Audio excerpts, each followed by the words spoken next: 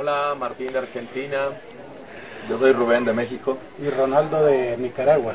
Todo muy bien, hicimos el tour en Perú eh, eh, y el, Camino del Inca de dos días, todo excelente. Todo súper bien. Y la atención del el guía y disposición para atender cualquier duda siempre fue excelente.